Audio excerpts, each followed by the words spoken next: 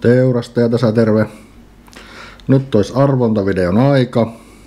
Ja kaksi laatikkoa täynnä kiekkoja arvothan ja nyt laatikoiden sisältö näkyy edelliseltä videolta, josta laitan linkin tuohon ylös, jos haluatte käydä katsomassa, että mitä sieltä voi voittaa. Minun mielestä aika mukava setti kiekkoja kummassakin laatikossa.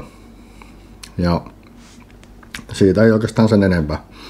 Öö, Tämä arvonta oli tarkoitus laittaa vähän niin kuin jouluja tämän 2020 vuoden kunniaksi ja sen kunniaksi, että kanavalle tulee oletettavasti se 2000 ja Teitä onkin siellä nyt jo 2700 ja vähän ylikin. Kiitos siitä. Ja sitten tota, joo, eli arvonta oli nimenomaan kanavan tilaajien kesken. Ja jotta voi niin jotta teori- teoriasta ja näkee, että ketkä on tilannut kanavan, niin se kanavan tilaus pitäisi asettaa julkiseksi. Ja siitä mulla on tehnytkin erillisen video, joka näkyy tuolta linkistä. Ja siellä nyt on julkisia tilaajia, oli 1455 kappaletta. Eli aika moni on vielä jättänyt sen asetuksen niin siihen asentoon, että se ei näy tänne kanavalle eikä kellekään muullekaan ne tilaukset. Mutta kattokaa ne ohjeet tuolta videosta sitten, niin jos haluatte asettaa sen oman tilauksen julkiseksi ja osallistua, tulee hyvinkin arvontoihin sitten. Arvonnan tosiaan suoritin ennen kuin olen kuvaamaan tätä videota. Ja siellä oli tosiaan 1455 arvalippua niin sanotusti. Ja tuonne random.orgin laitoin 1-1455. Siltä väliltä se arpo niitä lukuja. Kaksi lukua arvottiin. Ja sieltä tuli, ensimmäinen luku oli semmoinen kuin 1316. Ja toisen laatikon, tämän ylemmän laatikon, voitti semmonen henkilö kuin Eero Oikarinen. Onnittelut Eerolle. Laitoin vielä tuohon tuommoisen muistilapun, että just tämä laatikko on nyt Eerolle sitten lähössä. Ja jos Eero muistat tuota, tai älä muista ehdottomasti, niin ottaa yhteyttä minuun laita tuota viestiä tulemaan Messengerin kautta tai Instagramin kautta. Laitan tähän ne osoitteet, että mikä on minun Messengerin osoite ja mikä on Instagram-osoite, niin voit sieltä ottaa yksityisviestillä yhteyttä, niin saahan vaihdettua sinun, saahan sieltä sinun osoitetiedot mulle ja samalla saahan tarkistettua, että olet just se henkilö, jolle ne, se oikea henkilö, oikea Eero Oikarinen, kelle se pitää lähettää se voitto. Katsotaan se toinen voittaja tuossa vaikka tämän videon lopulla sitten, niin teillä on parempi motivaatio katsoa tämä video kokonaan. Joo, nyt on tosiaan joulupäivä ja eilen kävi joulupukki, toivottavasti kävi mahdollisimman monessa paikkaa. Meillähän se ei käynyt tietenkään sisällä, kun näin korona-aika, mutta kävi kuitenkin tuossa ikkunan takana vilkuttelemassa ja toi joululahjat tänne koko perheelle sitten. Ja teurastajalla oli, kävi niin hyvä onni, että pukkikin oli vissiin katsonut näitä teurastajan videoita ja oli huomannut, että tarvittaisiin tuommoiset langattomat mikrofonit ja semmoiset nyt tulikin ja nyt se on eka kertaa käytössäkin, eli tässä on mikrofoni, ei mitään lankoja, kuten näette. Tämmöinen Rode mikrofoni tosiaan ja, ja sehän antaa sitten paljon uusia mahdollisuuksia näihin videointeihin ja toivottavasti saadaan sitten mukavampia videoita tehtyä myös tuolla ulkosalla sitten. Ei tarvi itse olla aina siinä kameran lähellä, kun kuvaa niitä videoita, että kuuluisi ne äänikin. Ja, mutta tämmöisiä päivityksiä. Nyt tavallaan testathan sitten, että miten tämä toimii tämä systeemi, että tuleeko yhtään paremmat äänet sinne. No ääni ei varmaan kuulosta sen paremmalta. Sama ei täällä puhuu kuitenkin, mutta jos se kuulostaa se ääni, äänin tuota, volumetaso vähän olisi helpompi, ettei tarvitsisi laittaa teidän kääntää sieltä niitä volumenappuloita ihan kaakkoon, että kuulette, että mitä minä puhun. Mitä muuta?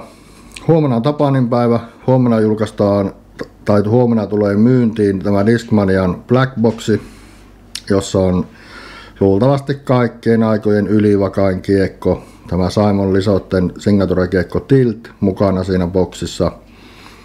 Ja siinä taisi olla lentoarvot 9, 1, 1 ja 6, eli 9 olisi nopeus ja liito vain 1, eli ei paljon liitele. vakaus 1, huomatkaa plus 1, normaalisti kiekossa on vakaus miinus 1 tai 0. Plus ykkösen vakauskiekkoja itsellä on ollut ainakin muistaakseni stiletto, mutta missään muussa kiekossa ei löydy niin kovaa vakautta. Ja sitten tämä loppufeidi siinä tiltissä oli 6, eli se oli PDGA hyväksytyistä kiekoista kaikista suurin loppufeidi, mitä on ikinä hyväksytty. Eli semmonen kiekko, mitä voisi joku sanoa, että no eihän tavallinen amatööri tarvi, mutta hei, kyllä sillä löytyy käyttöä. Esimerkiksi upsikiekkona se voi olla aivan loistava. Saattaa olla jopa paras upsikiekko, mikä ikinä on tullut markkinoille. Aikaisemmin mitä on meikäläiselle kaikki, kaikki nämä upsiheittäjät suostellut, niin on ollut sitten joku Sparkki ja Triple X. Ja ne on just tämmöisiä ylivakkaita kiekkoja, seiskanoppeus ja niissä ei ole liitoa juuri ollenkaan ja on älytön fade, eli järjettömän ylivakkaita kiekkoja nekin on. Tiltistä voi tulla uusi upsheittäjien tuota, suosikki. Saa nähdä. Myös mitä Lisotte sanoi, kun se testasi sitä tilttiä, niin se sanoi, että sillä voi heittää granaatteja ilman, että ottaa granaattiotetta, vaan ottaa ihan normaalin powergripin ja heittää päkkärin tuonne taivaalle, niin se lentää ikään kuin heittäisi, heittäisi granaattiotteella sitä kiekkoa, niin se lentää samalla tavalla ylös ja se tulee alas ihan pystyssä sieltä. Eli erittäin mielenkiintoinen kiekko. Itse otan sitä kyllä kovasti ja toivon kovasti, että saisin sen Blackboxin. Ja tietenkin multa on kysytty, että meinaanko tilata sitä, niin kyllä meinaan ja yritän. Ja jos saan sen, niin lupaan kuvata sitä myös unboxing-videon sitten. Ja siinähän tulee muitakin lättyjä, niin katsothan sitten mitä niille tapahtuu, että menneekö niitä arvontaan vai mitä niille tapahtuu. No mitä on muuta tulossa? Nyt lähiaikoina on tulossa myös teurastajan kanavalle ainakin tämmönen Niko Rättyä Lokkiseries unboxing video. Eli tuossa ennen joulua julkaistiin taktikkia uudella tämmöisellä rättyä stämpillä. Ja sitten mitä on kovasti pyydetty ja toivottu teurastajalta olisi se, että kuvattaisiin semmoinen video, missä teurastaja näyttäisi kaikki nuo kiekkonsa, keräilykiekot ja kaikki kiekot, ja että miten me säilytän niitä kiekkoja. Nyt oli ainakin Seppo Paju oli kuvannut semmoisen videon, missä se esitteli, sillä oli 2000 kiekkoa, ihan mieletön määrä kiekkoja ja todella hienoja kiekkoja, vanhoja kiekkoja, semmoisia kiekkoja, mitä ei todellakaan teurastajalta löydy. Mutta sitten Sebollakin taisi olla enimmäkseen kuitenkin Prodigyn kiekkoja, niin mitä sillä oli. Toki sillä oli siellä varastossa Discmania ja tämmöistä, koska hän on myös heittänyt Discmanialla silloin nuorena poikana. No, nuori, nuori mies hän vieläkin on, tosin, että vähän reilu 20, mutta Kekko ja oli aivan mieletön määrä. Kannattaa käydä katsoa Sepon video, laita vaikka linkin sitä tuohon. Ja joo, kyllä, mä olen miettinyt ja suunnitellut, että voisin kans kuvata semmoisen videon. Ajattelin sen tehdä sillä, että en kuvaa yhdelle videolle niitä kaikkia, vaan kuvaan niin useammassa osassa. Ja olin miettinyt, että kuvaisin sillä, että kun mulla on eri, eri tuota, valmistajia ja eri merkkisiä kiekkoja, että kuvasin aina vaikka Prodigystä yhden videon ja sitten Discmaniasta toisen ja Innovasta kolmannen ja niin poispäin. En tiedä mitä tämä kuulostaa, mutta laittakaa vaikka kommentteihin, onko se teidän mielestä ihan hyvä idea. No sitten, öö, joo, ensi vuosi on tulossa 2021 ja silloin on Oulussa ainakin öö, SM-kisapelathan avoimen sarjan miehet ja naiset, niin sieltä olisi suunnitelmissa kuvata jotain, mutta en ole sitä sen enempää suunnitellut ja pitäisi varmaan SFLltä pyytää myös jonkunlainen tämmöinen akkredointi, että pääsee sinne niin toimittajana kuvaamaan tai tubettajana ihan miten vaan, mutta saisi niin ne kuvausluvat sinne. Tarkoitus ei ole kuvata mitään niin kärkikortin heittoja siellä, koska siellä ne varmaan niin kuvataan jonkun, jonkun muun tuottajan toimesta, mutta kuvataan jotakin semmoista, mitä ei tule sitten mistään muita kanavilta, pelaajahaastatteluita vaikka ja tämmöistä muuta, muuta tavaraa. Ja livejä, nyt on mahdollisuus kuvata livejä, kiitos Teän, koska YouTubessa on semmoinen systeemi, että et voi kuvata suoraan live-lähetystä tuolta mobiililaitteilla, jos sulla ei ole tuhatta tilaajaa kanavalla, ja teitähän on yli tuhat, ja justiinsa Teän ansiosta pystytään kuvaamaan sitten ensi kesän SM-kisoista myös livejä. No, laittakaa tuonne kommentteihin mitä muuta te haluaisitte nähdä Teurastajan kanavalla vuodella kaudella 2021. Ja mulla on ollut yleensä aina aika lailla niitä, to, yrittänyt toteuttaa niitä toiveita, mitä teiltä on tullut sieltä, jos ne on niin siinä toteuttamisen ja mahdollisuuden rajoissa, mitä me pystyn niin tekemään.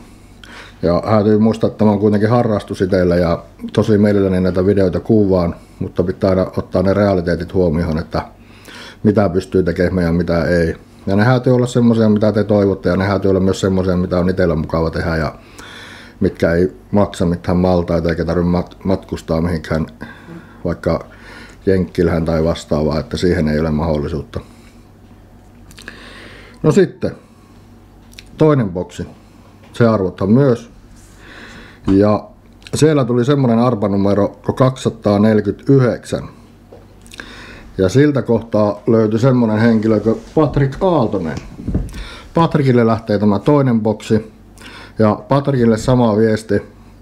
Eli ota minun yhteyttä Messengerin tai Instagramin kautta tai savumerkeillä tai miten vain. Pystyt ottamaan yhteyttä.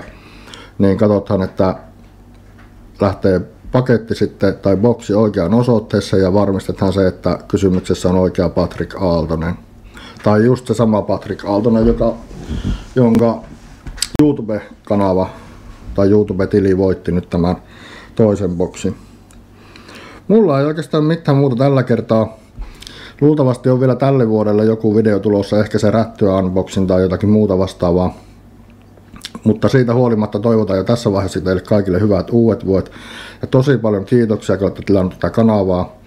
Ja ei muuta kuin hyviä heittoja. Se on moro.